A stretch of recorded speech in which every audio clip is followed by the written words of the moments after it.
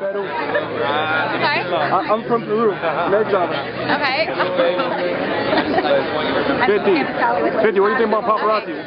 What I think about paparazzi? Yeah. I think they're necessary. How else would you catch me in pictures that I'm not ready for? there you go. Good answer. Do you have a question? Yeah, I do. Hi, I'm Kim Godey from Kim's Hollywood